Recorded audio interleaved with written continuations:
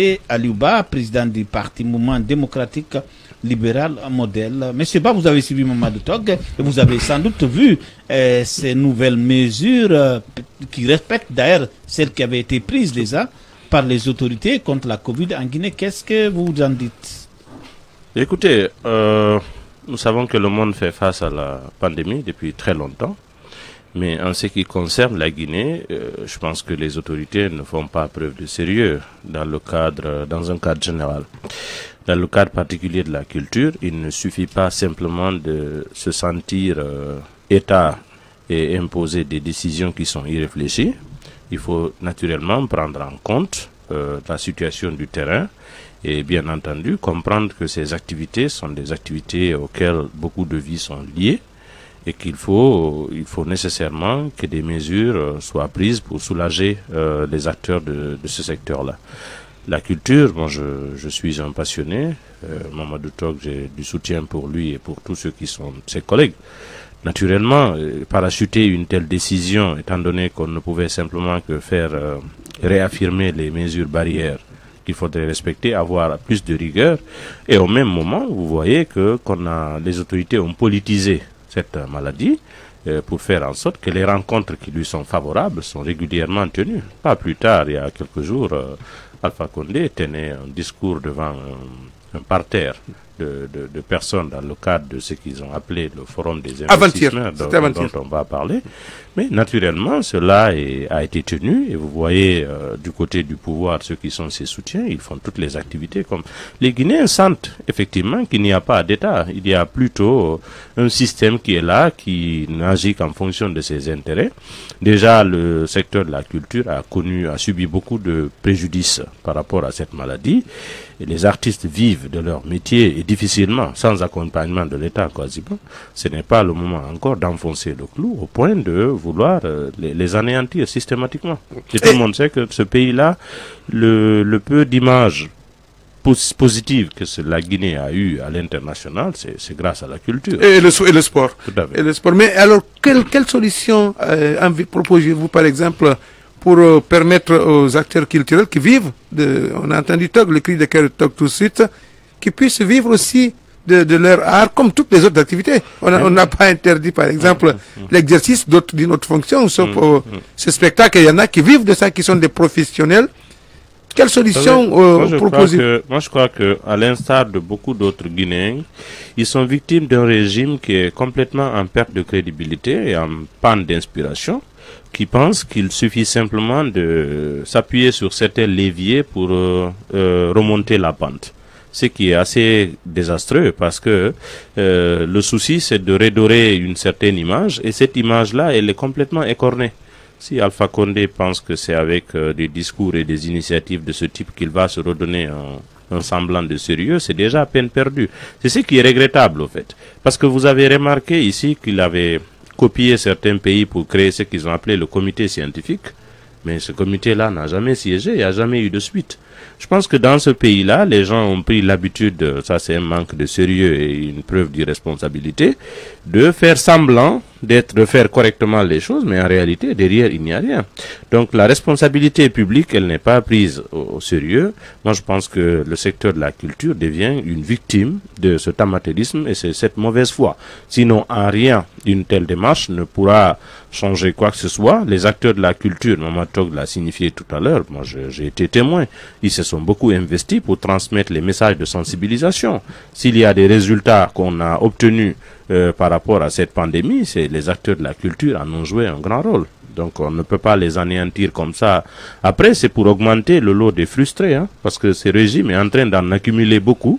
Et à ce stade, en plus de son illégitimité politique, la frustration gagne du terrain, tous les secteurs sont quasiment concernés. C'est une sorte de bombe à retardement qu'on est en train de préparer. Et en plus de euh, ce nouveau coronavirus, il y a l'épidémie d'Ebola en Guinée. Euh, quelle est votre lecture concernant cette résurgence d'Ebola dans ce pays? Écoutez, c'est assez regrettable hein, qu'on annonce encore euh, le retour d'Ebola. Euh, J'ai lu quelques revues des épidémiologistes et aussi de, des revues sanitaires que j'aime bien lire pour découvrir des choses. Je pense qu'on n'était pas complètement euh, à l'abri parce qu'on a vu dans, sous d'autres cieux où des maladies, des pandémies comme ça disparaissent, Et réapparaissent, après. etc., C'est le cas de la RDC, par exemple, pourquoi, voilà, justement, c'est pourquoi il faut assurer une certaine permanence. Il faut travailler à la vigilance, mais il faudrait plutôt travailler aussi sur la recherche. Et pendant Ebola, je pense que la Guinée, la Sierra Leone et le Libéria avaient bénéficié d'une assistance internationale assez considérable, mais je pense qu'on s'est beaucoup plus concentré sur l'assistance logistique et financière que sur l'assistance en matière de transfert de compétences. Parce que j'aurais compris que les trois pays-là, si par exemple moi j'étais amené à décider en Guinée, j'aurais établi un pont entre ces trois pays pour qu'on se donne la main et mettre en place le plus grand laboratoire de recherche épidémiologique du continent, qu'on aurait installé par exemple au niveau de Gekedou, qui est une zone de jonction pour ces trois pays. Il Oui. faut avoir des initiatives comme ça. Après, ça fait concourir, ça fait participer les chercheurs d'ailleurs et d'ici pour qu'il y ait des transferts de compétences afin qu'on ait une autonomie en matière de recherche. Dès lors que c'est un foyer, un vivier qui a potentiellement, euh, euh, qui est favorable à la résurgence des épidémies, mais il faudrait élargir la recherche pour que tous les cas d'épidémie qu'on ait un sens de l'anticipation. Imaginez-vous, depuis 2004, jusqu'à présent, les échantillons prélevés sont analysés à l'Institut Pasteur de Dakar. Sept ans après, on n'a pas un institut d'analyse de ces éléments-là. Et vous avez des dirigeants qui se bombent la torse avec veste et cravate, qui vous font semblant qu'ils sont sérieux, alors qu'une aide qui ne vous permet pas de vous débarrasser de, du besoin de, de l'aide, elle ne l'est pas. euh, Donc une- l'intelligence aurait été, au lieu de commander, au lieu de commander des véhicules, commander de l'argent, où nous en sommes d'ailleurs? Il y a eu combien d'ambulances? Il semble qu'il y en a eu plus de 800 qu'on avait offert entre-temps. Mais je pense que nos, régions manquent de tout. Ne serait-ce que la redistribution de ce, de ce matériel, de cette logistique. Si on en avait fait, je pense que chaque sous-préfecture de la Guinée serait dotée au moins d'une ambulance, au minimum d'une ambulance. Moi, la dernière fois que j'ai été à, à, j'ai fait le tour. Il y a des villages dans lesquels pratiquement les femmes sont transportées sur des motos pour venir accoucher au centre de santé. Vous imaginez combien de fois on n'en a pas fait une réelle opportunité, non seulement pour se créer une certaine indépendance en matière de recherche euh, sanitaire, mais aussi derrière, c'est des cas, gros scandales de détournement. Qu'est-ce que les Guinéens ont vu en termes de compte rendu par rapport à tout ce qui a été fait? Donc ça redémarre et tout de suite on tend la main et c'est Dakar, c'est Paris, c'est l'Union européenne, on pleurniche. Après, quand on vous dit que vous n'êtes pas, vous êtes en train de tuer votre population, vous n'êtes pas démocrate, vous violez les droits de l'homme, on commence à rappeler, on est souverain, on est, bon, je pense que c'est- Mais, à, la décharge du, du, du- du régime, il y a quand même des, il y a des centres de recherche. Hein. À Gekedou, vous avez noté Gekedou. Il y a un CTE à Gekedou. C'est là-bas déjà le premier test lorsque l'infirmière est décédée. C'est à Gekedou ils sont partis faire le premier prélèvement qui ont montré effectivement que c'est Ebola, mais compte tenu du fait que euh, euh, il y a, il y a des marges hein, dans la recherche médicale, il y a des marges derrière pour euh, s'assurer que vraiment ils n'ont pas fait un mauvais diagnostic. Ils ont envoyé le les comment dirais-je L'échantillon. les, les, l'échantillon à Conakry. C'est Conakry qui a Non, je suis, euh, je suis au courant de ce. De à ces Pastoria, il y a des centres de recherche aussi. Il y a un centre ouais. euh, des, des Russes à, à Pastoria, à Kindia, qui fait un travail merveilleux. Mais attends, Ouais. en, en attendant, moi je vois pas des résultats des recherches publiées régulièrement. On aurait pu, par exemple, si on voit ce que les chercheurs, en général en Guinée, les chercheurs ils sont pas soutenus, que ce soit dans le domaine médical ou dans le domaine euh, euh, carrément scientifique. On n'est pas au rendez-vous de, de la recherche. J'aurais bien compris que des résultats sur tel ou tel soient publiés, qu'on puisse comprendre effectivement qu'il y a du travail qui soit fait, mais si jusqu'à présent on met des intermittences, parce qu'il ne s'agit pas d'avoir un bâtiment et l'intituler centre de recherche. Derrière, quels sont les chercheurs guinéens qui sont en train d'y travailler et qui ont une certaine visibilité par rapport aux résultats de leurs travaux. Moi, c'est de ça que je parle. Parce que moi, je suis dans ce pragmatisme-là qui m'impose de voir les résultats afin d'apprécier la méthode. Donc, je ne sais Mais, pas mais, encore, encore, jusqu'au moment où je vous parle, ce sont des médecins guinéens qui sont en train de contenir la maladie, tant à Zérékoré, à, Gou- à Conakry. Il n'y a pas, il y a pas, en tout cas, jusqu'à ce que je, jusqu'à ce matin, je ne pense pas qu'il y ait un médecin et des Russes ou des, des, des, des, des- comment on les appelle, des Cubains ou autres qui sont venus comme la, la première résistance. C'est Ouais, les médecins que- guinéens formés Mm. qui sont en train actuellement de faire du Vous travail. Oui. les, les médecins, ils font du bon travail. font du- ils font- Mais ils font- Incontestablement. Ce qu'il y a, ce qu'il y a dé- derrière, c'est que c'est Peut-être c'est la recherche. de- Est-ce est-ce que il y a une confiance euh, assez poussée sur euh, ce que nos laboratoires, euh, l'Institut Pasteur de Kindi a fait, c'est que euh, c'est ce laboratoire qui se trouve à Gikidou, euh, ce qu'il fait. c'est- Je pense que c'est là-bas que... Oui, justement, c'est là le problème. Le recoupement En fait, se fait le- entre toi, le laboratoire, le- justement. le- le- Le- les échantillons sont recoupés, sont confirmés. C'est-à-dire quand Gekedou dit que c'est positif, on envoie à Kindia, Kindia confirme, on envoie à Conakry. C'est pourquoi, si vous avez remarqué, entre la première déclaration de Dr Sakoba et la confirmation par le ministre de la Santé, ça fait trois jours. Effectivement. Il y, a- il y a eu de, il, serré, le- les premières déclarations au terme du test à Gekedou, c'était pourrait être. Nous constatons quand même des symptômes qui sont proches de la maladie, mais il faut qu'on confirme les tests.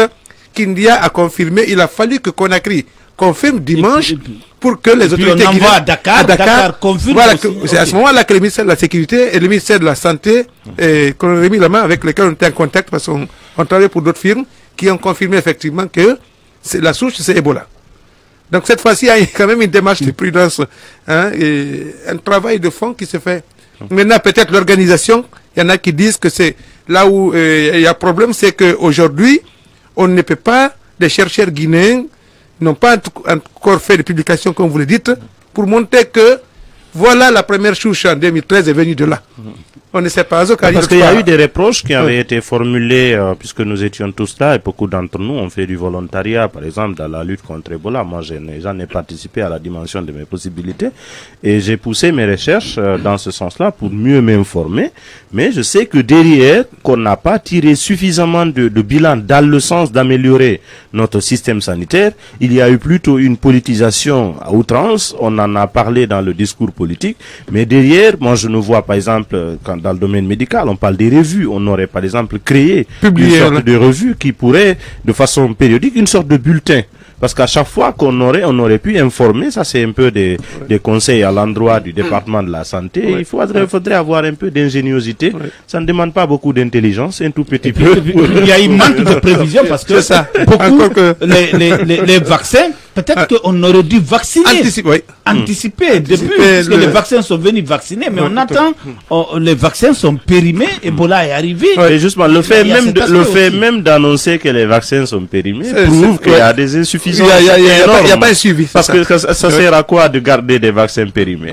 Donc on sait déjà qu'on peut avoir une insurgence, ça Oui. peut arriver, Oui. mais bien entendu, il faut renouveler le stock et le maintenir. Oui. Donc le- l'anticipation est plus importante et moins coûteuse Oui. En matière de gestion sanitaire que la gestion du problème. Parce Gouverner. qu'aujourd'hui, c'est tout de Eh suite... euh, on sait que gouverner, c'est anticiper. Avec nous, dans Idelin Saliouba, il est le président du Parti Mouvement démocratique libéral modèle. On marque une courte pause. On se retrouve dans un instant.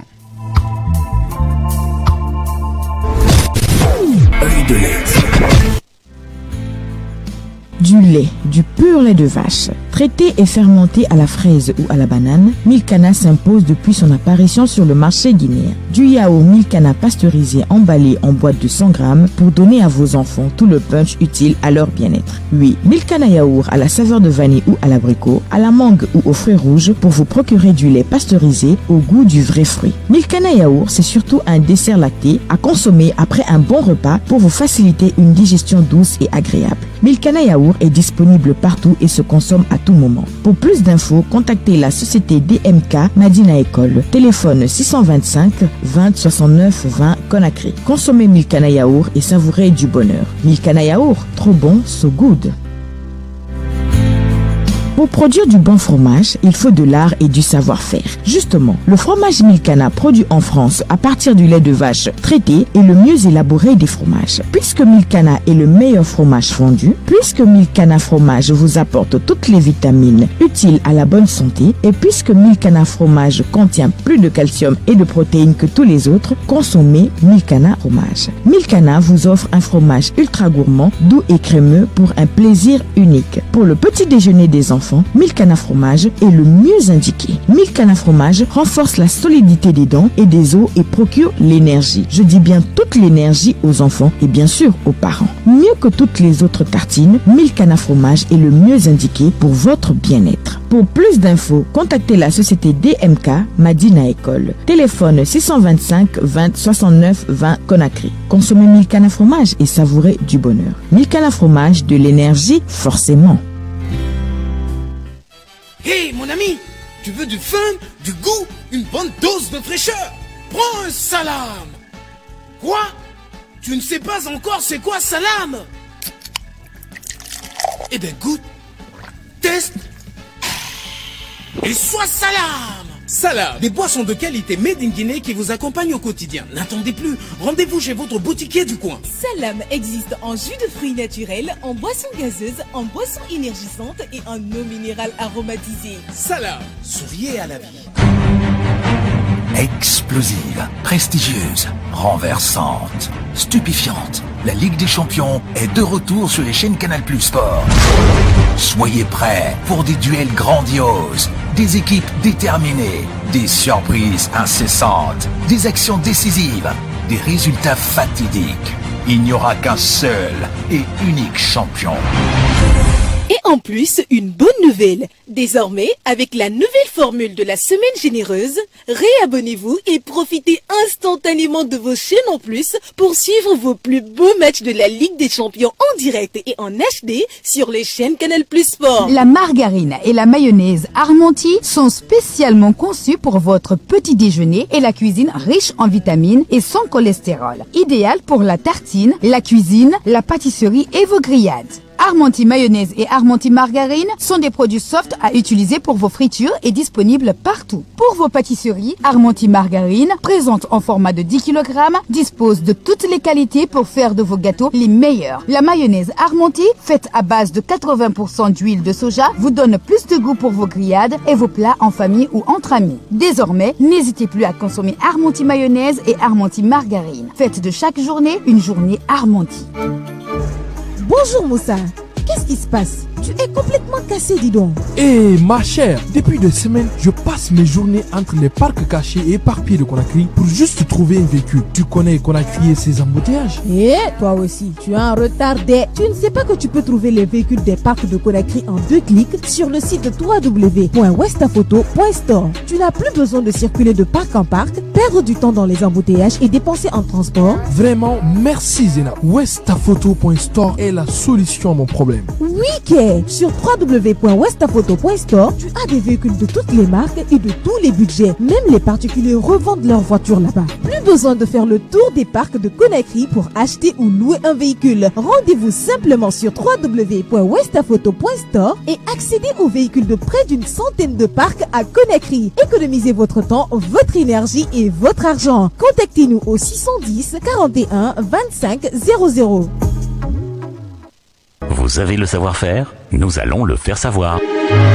Pour toutes vos communications, spots, annonces, publi-reportages, émissions spéciales, couverture médiatique, contactez le service commercial de Lynx FM, la radio qui perce le cœur de l'actualité guinéenne. Membre du groupe de presse Lynx Lance, fort de 25 ans de présence et d'expérience en Guinée, récompensé à plusieurs reprises par ses auditeurs et ses pairs, Lynx FM bénéficie d'une audience inégalée tant en Guinée qu'à l'international. Décideurs, jeunes actifs, intellectuels, de 16 à 75 ans, nous portons votre message à travers le monde. Lynx Guinée, la radio au cœur de toutes vos communications.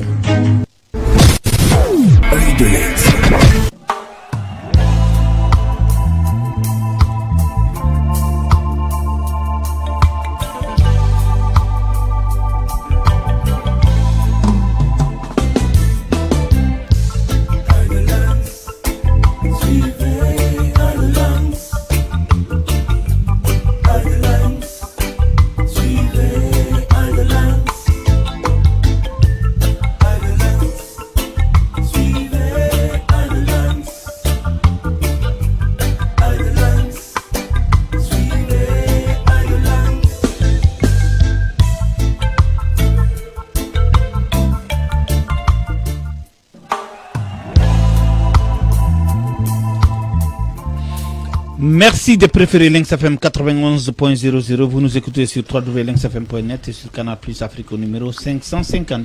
Vous parliez de chercheurs justement. Et, au, tout au début du coronavirus, je crois qu'un comité scientifique avait été mis Ouais. en place. Ouais. Ce, communiqué, ce comité scientifique a-t-il publié Oh, je, de- je ne pense pas parce que euh, je pense que c'était venu euh, dès après qu'on a appris euh, que la France en avait déjà dispose, je pense, un comité permanent qui n'a été qu'activé pour les besoins par rapport à la situation du virus. Le rôle d'un tel comité, c'est de faire des recommandations aux dirigeants euh, par rapport aux décisions qu'il faut prendre euh, dans la gestion de, de la pandémie. Je pense qu'il y avait eu euh, l'idée qui avait été euh, annoncée officiellement et le comité semble avoir été constitué. Moi, j'avais suivi la, la décision qu'il a constituée et, et quelques personnalités avaient été citées. Mais par la suite, on ne nous a jamais rien dit à ce sujet. Qu'est-ce qui a été formulé comme recommandation? C'était quoi sa marge de manœuvre et par la suite quel a été, euh, quels ont été les effets euh, de, de sa constitution sur la gestion de, de la pandémie. Donc, est-ce que ça, ça c'est juste encore une décision populiste parmi euh, tant d'autres ou bien parce qu'on a envie de faire croire qu'on est, qu'on est sérieux, mais derrière, je ne pense pas que ce comité ait, fonctionné. Alors, selon vous, comment l'État devrait-il s'y prendre pour lutter contre non seulement la Covid, mais aussi l'épidémie d'Ebola? Parce que, il me, il me à mon avis, il n'y a pas euh, à réinventer. Il y a beaucoup de choses qui ont été facilitées. À partir du moment où la pandémie, elle est, elle est déjà mondiale euh, et que le monde est en train de s'en sortir progressivement. En tout cas, il y a des signaux encourageants. Ce vaccin dont, dont on a parlé, qui a été obtenu dans une quand même rapidité remarquable au regard de ce que nous connaissions. De, Ah, grâce à l'application de l'OMS. C'est l'OMS qui a géré. Et voilà, donc qui a le- géré- le- facilité. voilà, exactement. Maintenant, il y a eu il y a plusieurs euh, compagnies qui font les, les vaccins. Et je pense qu'il faut aller dans cette direction-là, faire en sorte que euh, les, les Guinéens puissent en, en disposer et, et pour rassurer. Et puis, il faut rassurer. L'un des plus grands problèmes de ce, en matière de gestion de, de, de pandémie, c'est le fait que les gouvernants n'inspirent plus confiance. Le déficit de confiance. D'ailleurs, je parle euh, sur le plan politique, quand un pouvoir a un, un problème de légitimité, il est très difficile qu'il puisse transmettre un message qui soit compris par les populations. Aujourd'hui, quand vous allez à l'intérieur du pays, et même ici à Conakry, quand ça vient de ce pouvoir-là, ça devient automatiquement suspect.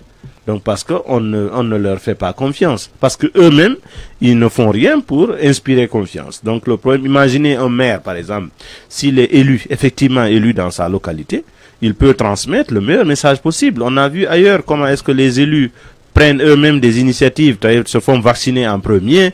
Aujourd'hui, si, même si euh, un collaborateur d'Alpha Condé se fait vacciner, les gens en rigolent. Parce que derrière, ça ne leur inspire absolument rien comme confiance. En tout cas, les- pas- on a vu, on a vu à la télé des ministres, des ministres effet, au niveau Sans effet, parce que ces gens-là, les ces des hommes d'État. n'ont- Exactement, ces gens-là, ils se sont bunkérisés tellement qu'ils se font pas confiance et les gens ne leur font pas confiance, ils n'ont aucun contact avec la population. Ils vivent dans des localités où pratiquement ils sont obligés de vivre avec un contingent pour soi-disant leur propre sécurité. Si vous êtes élu ou bien si vous avez la confiance des gens, vous n'en avez pas besoin. Donc autant il y a une distance, autant leur message ne passera pas.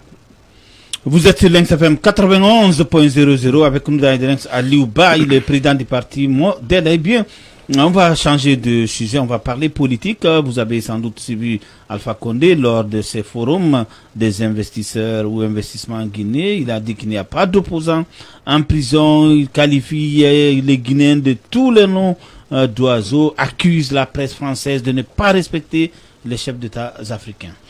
Écoutez, hein, comme à ses habitudes, moi je, je n'ai jamais cru que quelqu'un de plus de 80 ans puisse se réinventer. Alpha Condé ne peut pas mieux produire. Euh, c'est comme si euh, vous avez euh, une télé à votre en face de vous, elle ne peut que donner que des images parce qu'elle n'a été fabriquée que pour ça. Je ne pense pas que c'est- à ce stade-là qu'il peut changer de discours ou changer de méthode. C'est seulement regrettable que quand on tend vers la fin de sa vie, parce que nous sommes tous des mortels, plus on avance en âge, plus on se rapproche de Dieu, ça c'est la logique humaine, comme on le dit, on corrige ses erreurs, on essaye de se faire pardonner, etc., etc. C'est ce que nous avons trouvé.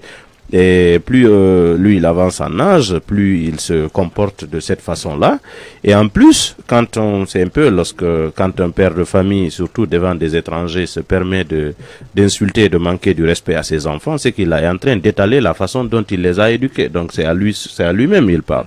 Au-delà de ce fait, quand Alpha Condé traite euh, les gens de, de tortue, des gens qui n'ont pas honte, euh, il faut bien voir cela parce que c'est comme s'il parlait à son entourage, il parlait à ses collaborateurs, parce qu'il est en train en même temps de critiquer le fait que ça n'a jamais marché, que sa gouvernance n'a jamais produit des résultats. Il expliquait son mauvais bilan par le fait que les gens avaient des comportements comme ça. Donc, au lieu de penser qu'il par- parlait à tous les Guinéens, il parlait plutôt à son entourage. On a vu comment les décrets se font et se défont, comment est-ce que les gens qui perdent complètement leur honneur et leur dignité pour accepter des petits privilèges du pouvoir. Donc, à, à regarder de près, Alpha Condé s'adresse à son entourage. Il manque du respect à ses collaborateurs. C'est eux qui l'insultent. C'est eux qui le traitent des gens qui n'ont pas honte. C'est eux qui le traitent euh, comme étant des tortues qu'il est en train de chauffer. Donc, pratiquement, tous ceux qui ne sont pas dans ce registre-là ne se sentiront pas concernés. En tout cas, moi, je ne me sens pas concerné du tout parce que je n'ai besoin ni de son décret, ni de son privilège. Donc, il est en train de faire en sorte que euh, qu'il expose aux Guinéens avec mais, qui il est mais- en mais train de ces travailler. écarts de langage, c'est ce, euh, c'est cette façon de fa- parler de façon outrancière, est-ce que vraiment c'est digne Non, non, de, de- pas du tout. C'est vraiment triste et moi j'ai apprécié. On a vu les réactions, par exemple, De la presse de la française, presse française des- par des à- concerts de RFI. Évidemment, évidemment. Quand il, euh, quand il parle, d'ailleurs, il est le plus mal placé pour vilipender la presse. Cette presse, qu'est-ce qu'elle n'a pas fait pour, euh, pour, euh, pour son ascension politique? Mais quand il était en, en prison, si aujourd'hui il, il dit qu'il n'y a pas de prisonniers politiques en Guinée, il y a des otages politiques. Parce que ceux-là n'ont pas leurs droits qui sont respectés. Ceux qui sont en prison aujourd'hui, la façon dont ils ont été arrêtés, la façon dont ils sont séquestrés, la façon dont ils sont emprisonnés, et le fait qu'on leur refuse tous leurs droits, les plus élémentaires, même le droit des soins, le droit d'exercer des activités sportives pour leur propre santé, le droit à accéder par exemple à la lecture, le droit, c'est des choses qui sont tellement basiques que ça tout porte à croire que c'est une sorte de prise d'otage. Systématiquement, ils n'ont même plus accès à leurs avocats. Donc s'ils ne sont pas des, pri- euh, des prisonniers politiques, c'est qu'ils sont des otages de la dictature. Et ça, c'est plus grave. Alors, moi je pense qu'il est en train de d'être un peu mal conseillé. On connaît quelques-uns autour de lui qui lui donnent euh, euh, des idées, genre euh, il faut avoir une rhétorique euh, qui consiste à nier. Mais le monde est plus en avance que lui et son entourage. Qu'est-ce qui est-ce qui ne connaît pas ce qui se passe en Guinée? Il, euh, il s'est livré à, la presse euh, euh, internationale. On a vu les réactions, les gens qui lui manquent de respect. Et d'ailleurs, quand vous parlez de respect, le premier respect, c'est celui qu'on accorde à soi-même. Accorder son respect à soi-même, c'est tenir ses engagements, tenir sa parole. Il n'a pas respecté la constitution de son propre pays. Il n'a pas respecté ses deux serments sacrés, tenus devant son peuple et devant le monde entier. Il n'a pas respecté ses engagements antérieurs en tant qu'opposant politique. Il n'a pas respecté l'idéologie et les militants de son propre parti. Mais de quel respect il parle? Il veut quel respect? Moi-même, je ne me respecte pas, mais je tiens à ce que les autres me respectent. Ça n'a absolument aucun sens. Heureusement que les gens ont repris, euh, ont répliqué à la lettre. C'est ce qu'ils voulaient. Ça déshonore notre pays. Parce qu'après tout, on va parler de la Guinée à chaque fois qu'on parle de lui. Et tous les Guinéens se sentiront concernés. Mais la fonction présidentielle, elle a plus de valeur que le fait d'être rabaissé comme ça. Je pense que la Guinée mérite nettement mieux. En tout cas, il rend un mauvais service euh, à l'image de notre pays.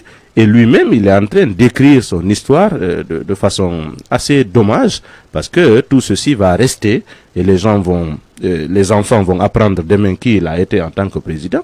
Mais c'est assez triste comme héritage. Et comment les- la classe politique, euh, les activistes, disons les forces vives de la nation, si on peut les appeler ainsi, doivent gérer, euh, doivent s'y prendre, doivent faire face, prendre acte, prendre position par rapport à ces discours du président? Mais écoutez, euh, dans ce pays, euh, quand même, nous avons, nous sommes nés ici, nous avons grandi ici, nous savons que nos parents nous ont inculqué des valeurs.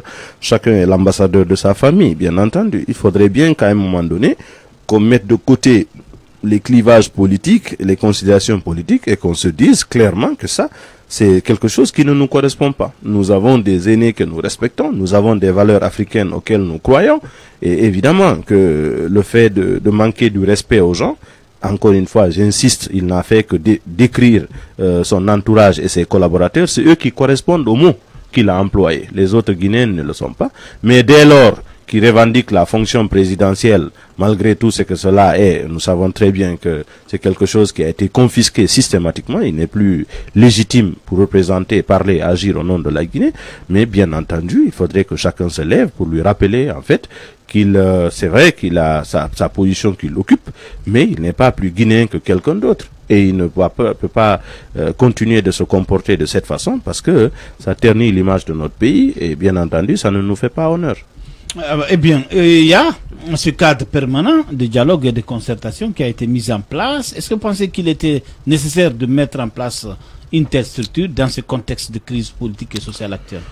Mais écoutez, ils sont en train de raccommoder, en fait, parce que le, problème, il est structurel et il est très profond. Euh, nous, nous en avons suffisamment parlé à chaque fois qu'on est là. Euh, nous savons combien de fois ce, ce pays-là est en train de traverser des moments particulièrement, euh, euh, particulièrement difficiles. Et alors, il ne suffit pas simplement de, de raccommoder, de mettre du vernis sur quelque chose qui est en train de, de s'effondrer systématiquement. En temps normal, si toutefois les institutions fonctionnaient, euh, ne serait-ce que euh, de, façon euh, euh, partielle ou, ou peut-être pas, pas à fond, mais le, le meilleur cadre de dialogue, c'est celui-là qui est institutionnel. Si par exemple les législatives avaient donné comme résultat des députés qui représentaient la, la nation, le peuple de Guinée, on n'a pas un cadre plus idéal de discussion des problèmes de la Guinée plus que, que dans une Assemblée nationale. Mais ça, c'est par principe. C'est si l'Assemblée nationale était effectivement la représentation nationale. Tel n'est pas le cas. Je crois que je l'ai dit ailleurs, je vais le répéter ici. Alpha Condé, c'est comme s'il était un peu dans l'école de, à la fois dans l'école de Sékou et de Lansana Conté.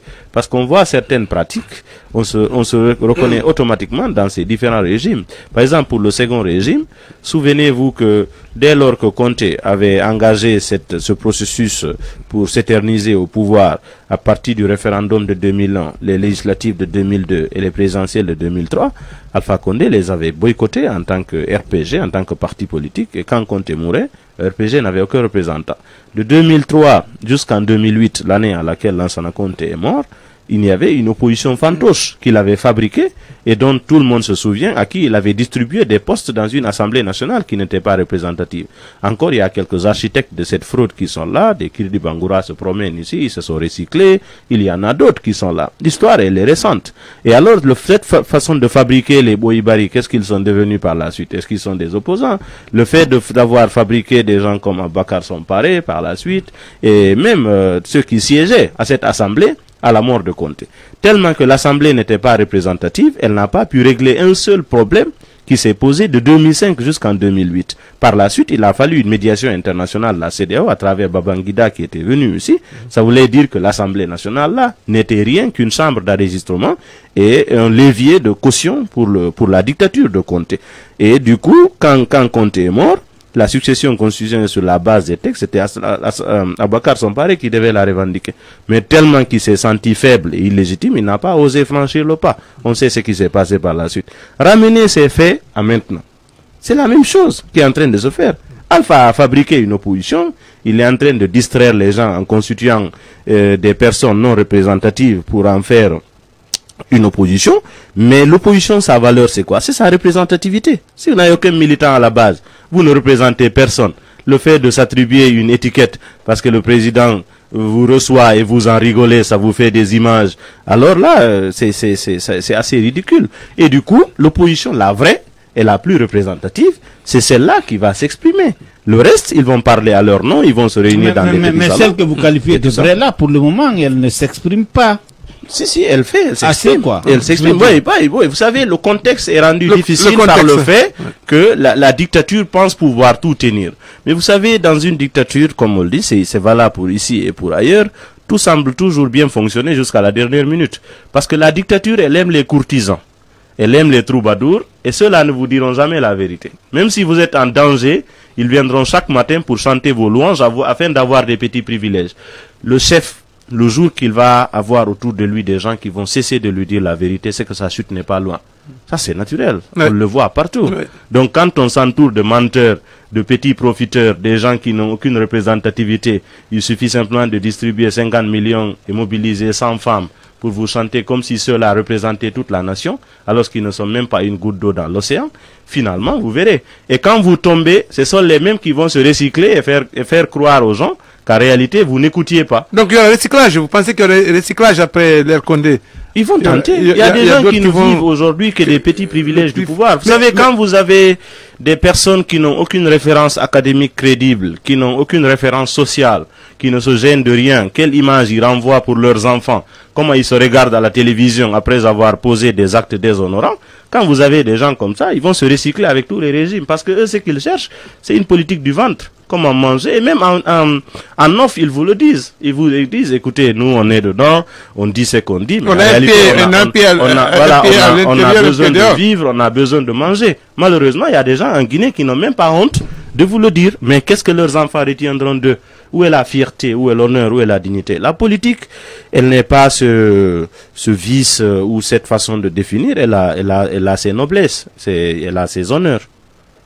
Et l'opposition elle-même qui semble euh, plus que divisée, comme euh, on, on voit aujourd'hui. Vous, vous avez justement campé l'environnement, mais on a l'impression aujourd'hui qu'au sein de l'opposition, il y en a qui s'opposent plutôt Ouais. aux opposants que de s'opposer au pouvoir. C'est comme ça. Est-ce que cette, cette- cette- ce comportement, cette, cette, cette, cette, ce- disons cette pagaille, si vous permettez le terme, au sein de l'opposition, ne conforte pas Alpha Condé et son, et son régime? D'abord, l'opposition, c'est la représentativité, comme je l'ai dit, c'est la base, ce sont ces militants, ceux qui se reconnaissent dans ce combat-là. C'est vrai que euh, ça semble être euh, amorphe ou peut-être dormant, mais en politique, on dit aussi il faut se méfier des eaux, des eaux dormantes. On ne sait pas qu'est-ce qui, bouillonne là-dedans.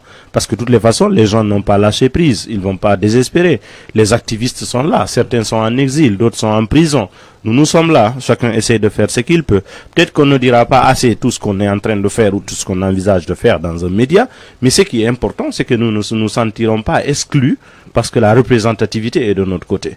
Et à partir du moment où le peuple lui-même se sent concerné par ce qu'on dit, par ce qu'on fait et ce qu'on pense, on sait que ce régime n'eût été la violence et la confiscation du pouvoir n'a aucune légitimité.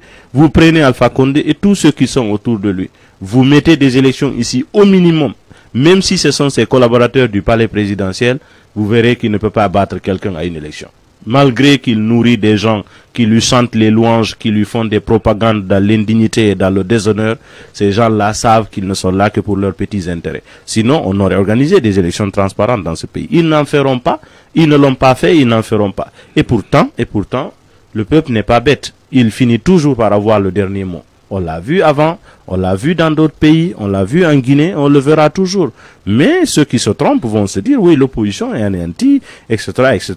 Mais cela n'est pas le cas. Parce que tant que nous sommes vivants, tant que nous tenons, euh, nous nous tenons debout, nous nous battons, nous continuons, parce que c'est de notre pays qu'il s'agit. Il suffit pas simplement de se, de se dire, oui, parce qu'on a affaibli tel, et ici, il c'est vrai qu'il y a de la manipulation. Aujourd'hui, il y a des soutiens déguisés d'Alpha qui sont beaucoup plus opposés aux opposants que, lui-même et ses collaborateurs. Mais c'est naturel. Ce pays a toujours reproduit ce type de scénario. Mais qu'est-ce qu'ils sont devenus par la suite? En 2008, les acteurs qui étaient présents sur le terrain avant la mort de Lansana Conté, quels sont ceux qui ont survécu véritablement et qui ont fait de la résistance sur le plan politique? Ils sont pas là. Et entre-temps, entre 2003 jusqu'en 2008, le RPG ne tenait même pas d'assemblée générale. Alpha n'était représenté, son parti n'était représenté dans aucune insti- institution du pays. Le parti n'était dynamique officiellement nulle part. Mais tout porte à croire qu'en 2010, on a compris qu'il s'était préparé autrement. Donc ça voudrait dire qu'on ne peut pas annoncer la mort d'un acteur politique tant qu'il est là.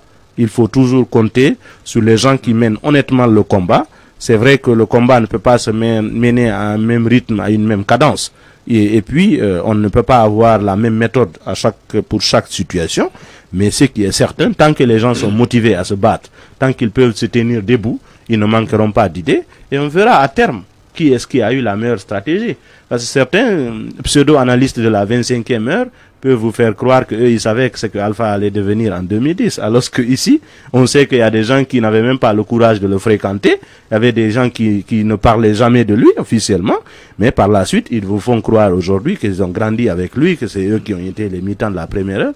Alpha est entouré d'arrivistes et d'opportunistes. On connaît leur passé. Aliouba, là. avec nous dans de Lynx, on va parler euh, maintenant économie. La situation elle est peu reluisante. Le franc ne cesse, guinéen ne cesse de glisser face aux devises étrangères. Il y a l'inflation.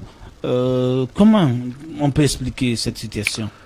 Bon, écoutez, d'abord euh, j'étais un peu, enfin pas surpris, mais désolé de constater qu'il y a un certain forum hein, des investissements qui se tient en Guinée. Euh, des investissements ne se font pas selon au gré des forums. Un forum, ça sert à quoi? Ça sert à présenter les opportunités qui n'étaient pas connues avant, mais sur la base des résultats existants et du potentiel dont vous disposez. Mais la plupart des facteurs qui encouragent les investissements sont des facteurs endogènes. Euh, c'est une expression économique, mais ça veut dire les facteurs internes. Et ce sont des préalables sans lesquels on ne peut pas parler d'investissement, en tout cas pas d'investissement massif. Nous savons que les investissements publics en Guinée sont très faibles parce que c'est un pays qui ne recouvre pas assez de, de, de recettes. C'est un pays où le niveau de pauvreté est très grand. Donc on a besoin du concours international pour investir dans plusieurs domaines de l'économie pour se développer. C'est les avantages, ce sont les avantages de l'ouverture, de la mondialisation et de toutes les opportunités que le monde offre. Parce que le monde n'est pas saturé économiquement. Le potentiel est toujours là, les opportunités existent. Malheureusement, il, chez nous, on n'a pas préparé les préalables pour être un pays attractif.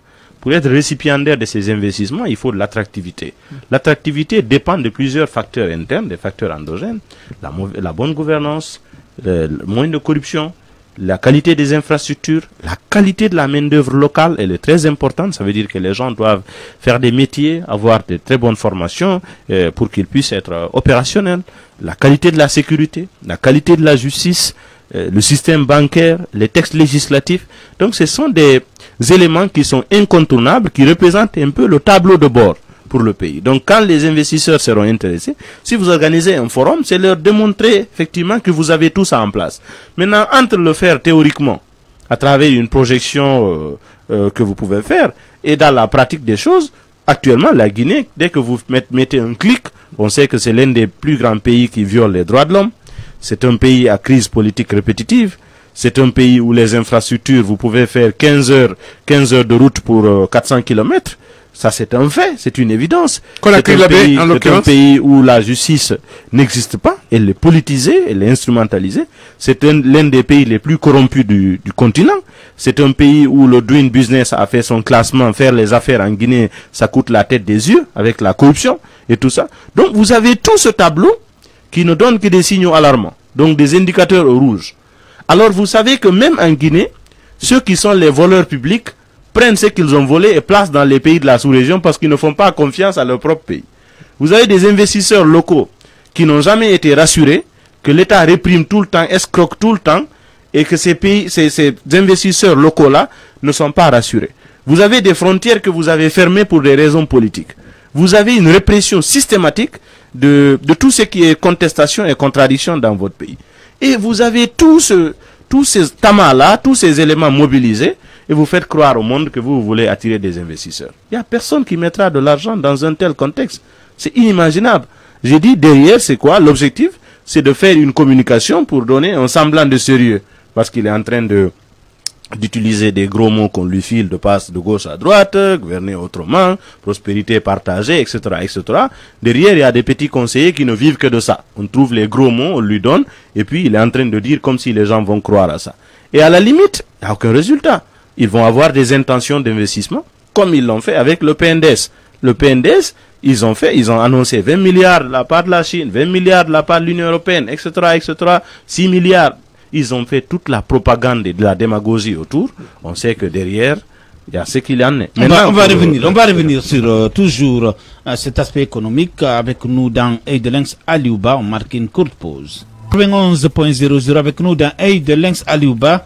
Il est président du parti Modèle. On parlait de l'économie, de du cas de des gouverner autrement, justement. Du cas de gouverner que autrement. Il semble que le président Alpha Condé a, a convoqué certains responsables de régie pour leur euh, doter, de leur faire signer des contrats de de performance. Performance, oui. Est-ce que ça peut, est-ce que ça peut, ça peut prospérer? Bon, écoutez, vous savez, il y a, il y a des principes euh, qui sont souvent appliqués ailleurs, euh, qui sont bien toujours d'être expérimentés. Les contrats de performance, d'abord, il faut l'expliquer. Euh, même dans le cadre privé, ça se fait. Quand vous êtes employé, euh, on vous définit des termes de référence de votre contrat, on vous assigne des objectifs à atteindre selon une période bien déterminée. C'est en fonction de l'atteinte de ces objectifs-là, on peut avoir un pourcentage toléré, un pourcentage souhaité, un pourcentage encouragé. Tous les entrepreneurs qui m'écoutent, ils savent ce que ça voudrait dire parce que ce qu'on appelle la rentabilité à la marge, parce que chaque employé doit avoir, doit plus euh, apporter que coûter pour l'entreprise pour qu'elle soit pour qu'elle soit maintenue.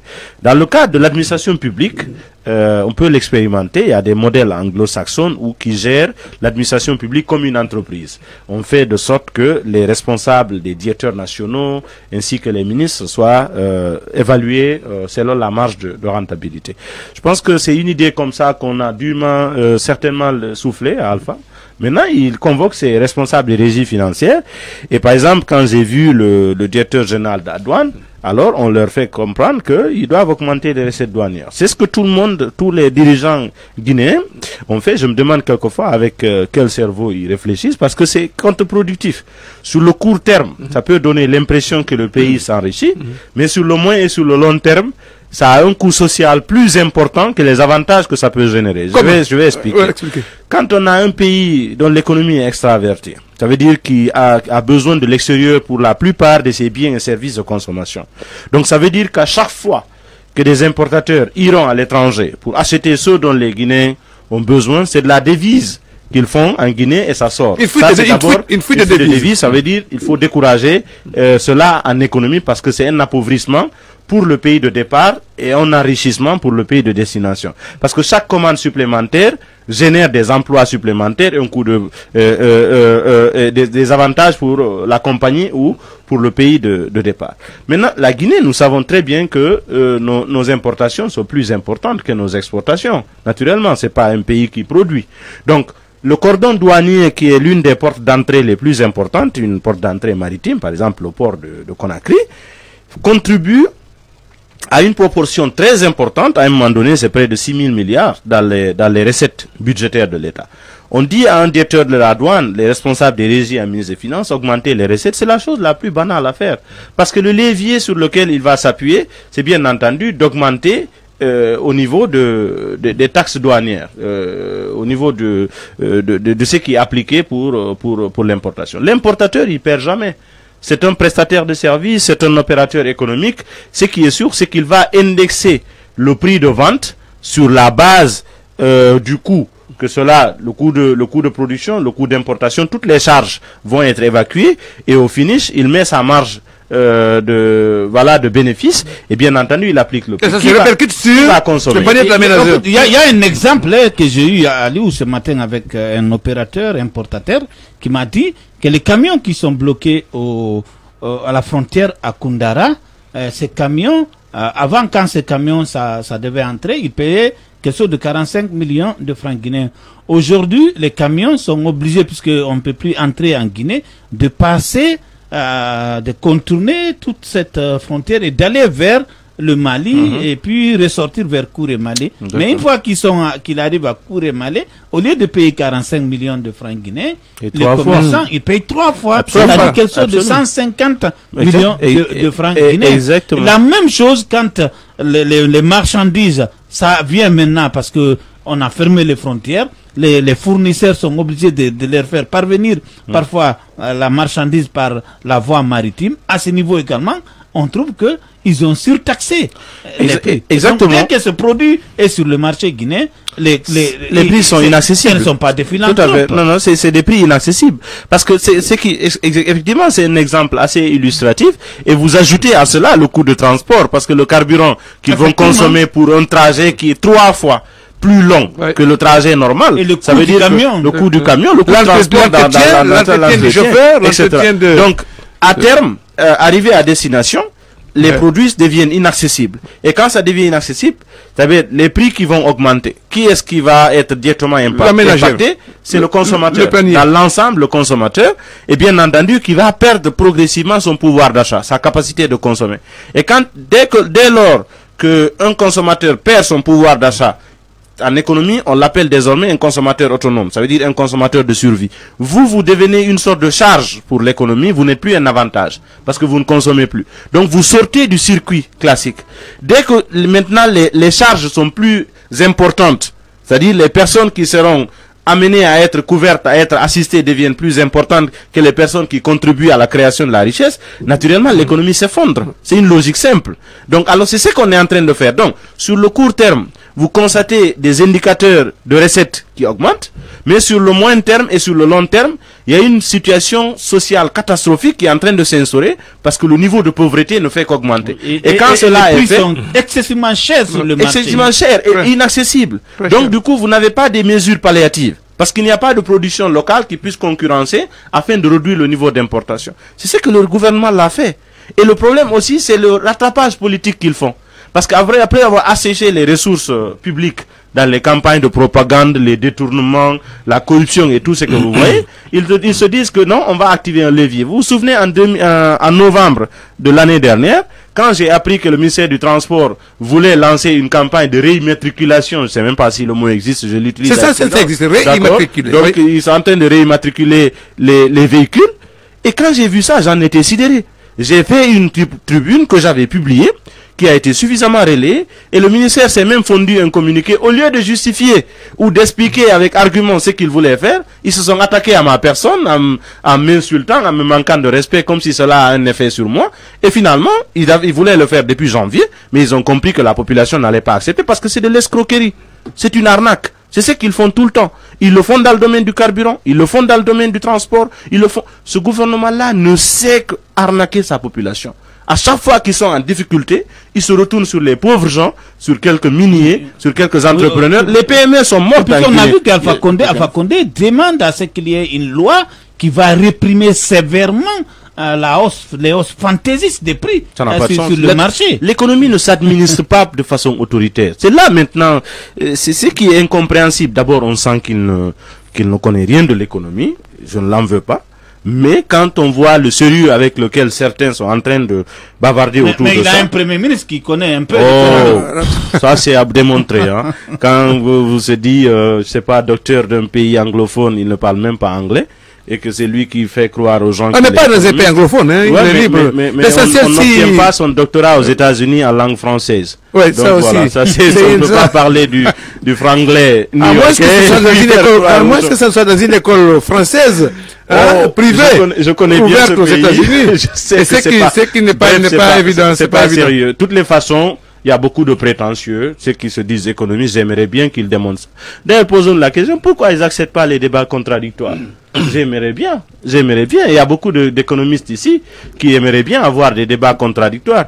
Mais pour cacher leurs carences, dès que vous commencez à parler, ils vont te dire non, on n'a pas le même statut, on n'est pas du même niveau, on n'est pas ça et ça, j'occupe des fonctions. Ils ont toujours un argument pour fuir la contradiction. C'est parce qu'ils savent qu'ils ont des lacunes qu'ils veulent pas que les gens découvrent. Mais ils vont découvrir d'une façon ou d'une autre. Soit parce qu'ils viendront s'exprimer, soit parce que leurs actes ne produisent pas des résultats. Alors revenons sur la chute quand même de ce franc gui- gui- guinéen face aux ces devises étrangères. Mais écoutez, c'est la conséquence de tout ce qu'on a accumulé comme contre-performance ces dernières années. L'inflation, c'est la chose contre laquelle nul ne peut se protéger. Parce que, d'abord, nous avons euh, une situation qui qui ne soutient pas la monnaie locale parce que euh, nous n'exportons pas, nous ne recevons pas des investissements directs étrangers, nous sommes sous assistance des organisations des institutions internationales, mais ça c'est une assistance de survie, je l'ai démontré ici au- avant euh, en ce qui concerne le FEC. Et donc, cette asphyxie, euh, cette euh, ponction qu'on nous fait tout le temps euh, sur, sur l'économie, ça ne, ça ne règle pas les problèmes. Ça nous maintient plutôt dans une situation d'assistance. Donc, à terme, la monnaie locale, elle n'est pas soutenue par, les, par des exportations, celle-ci n'existe pas. Elle n'est pas soutenue par des investissements massifs qui viendraient de l'étranger, qu'ils soient directs ou indirects. Et du coup, la monnaie ne peut pas, ne pouvait pas résister. Et vous avez aussi l'impact de la fermeture des frontières. Vous avez l'économie criminelle qui se développe parallèlement parce qu'on nous refait encore, euh, on nous reparle encore du trafic de cocaïne en grande quantité. Quand c'est comme ça, le pays devient horrible à l'international. Nous savons comment les, les narco-États se traitent. On a connu cette histoire-là pour la Guinée-Bissau, la Guinée, un peu le Cap-Vert et même un peu le Sénégal. Ces pays-là ont fait beaucoup d'efforts pour soigner cette image-là. Si encore on nous ramène ce réseau et que euh, on parle de plus des hauts cadres de, de l'État dans, le- dans la police, etc., etc., qui seraient impliqués, je ne sais pas pour le moment qu'est-ce qui en est, mais quand c'est comme ça, c'est assez affreux. C'est assez scandaleux en termes d'image. Et vous savez, toute l'économie est bâtie sur la confiance. hein. C'est un paramètre psychologique. Sans la confiance, il n'y a pas d'économie. À partir du moment où vous avez cette étiquette-là, on vous fait comprendre qu'il y a une économie criminelle qui se développe. Au bac, je vais vous montrer un exemple d'observation qui peut vous faire comprendre que nos pays, la Guinée et certains pays, il y a des indicateurs. Quand vous venez dans un pays où le niveau de pauvreté est si élevé, où il y a près de 70% de la population qui gagne, qui n'a pas 2 dollars par jour, moins de 2 dollars par jour. Mais toutes les 5 minutes dans la circulation, vous pouvez observer un véhicule de de, de 40 000, de, de- 50 000 ouais, dollars qui passent. Le contraste. La nuit, quand vous circulez, vous voyez des restaurants UP qui sont des clubs UP et des grands hôtels.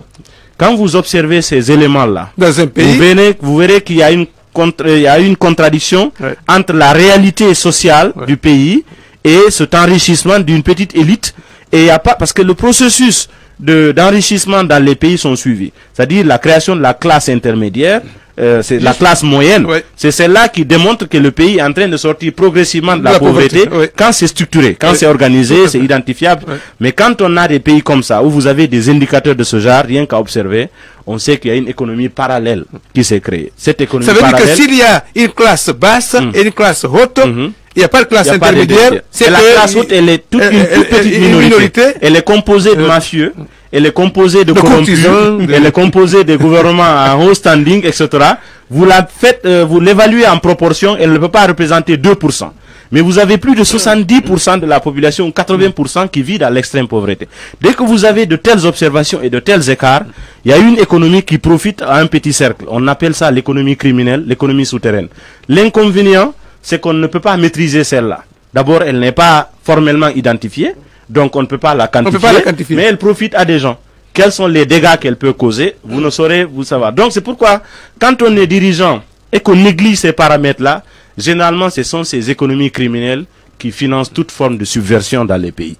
Les Américains le savent et les autres pays, c'est pourquoi chez eux, chaque citoyen a un numéro d'identification, a une adresse, parce que vous ne pouvez pas mener une activité suspecte sans qu'on puisse savoir ce que vous faites. Même si votre revenu augmente de 20%, ou de 30% ou de 50%, il y a une explication qui est donnée parce que ça passe par le circuit bancaire.